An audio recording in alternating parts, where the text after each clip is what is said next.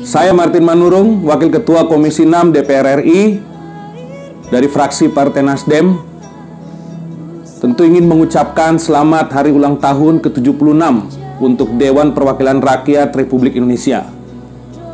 Di usia yang tidak lagi muda ini, tentu saya berharap DPR RI semakin mampu untuk mengemban fungsi-fungsinya, menjadi tempat masyarakat untuk bisa menyuarakan aspirasinya dan memperjuangkan kepentingan rakyat.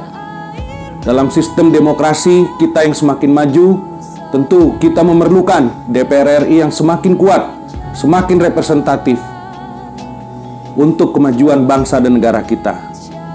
Karena itu saya ingin ucapkan sekali lagi selamat hari ulang tahun untuk Dewan Perwakilan Rakyat Republik Indonesia.